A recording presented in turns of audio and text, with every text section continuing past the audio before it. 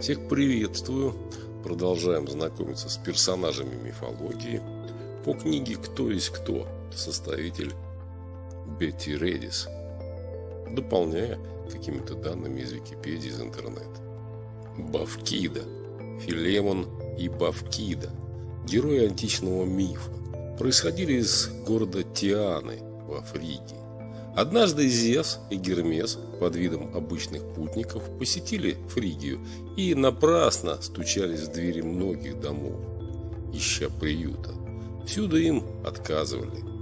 Лишь в маленькой, покрытой соломой хижине, где жили старые Филемон и Бавкида, им оказали радушный прием. Чтобы получше накормить гостей, старики решили пожертвовать даже своим единственным гусем.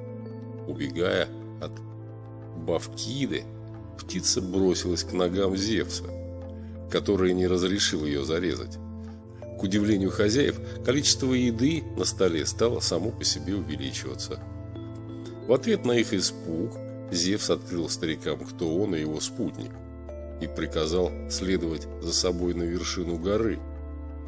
Поднявшись на которую они увидели, что местность вокруг их хижины покрылась водой, скрывшей все дома, а хижина их превратилась в величественный храм.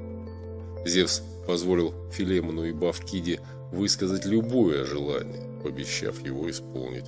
Старики пожелали до конца своих дней служить жрецом и жрицей в храме Зевса и умереть одновременно, чтобы ни одному из них не пришлось жить без другого.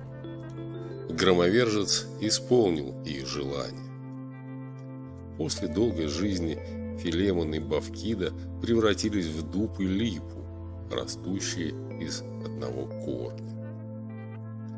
Вот так о героях античного мира Филемон и Бавкида. Пока-пока, до свидания.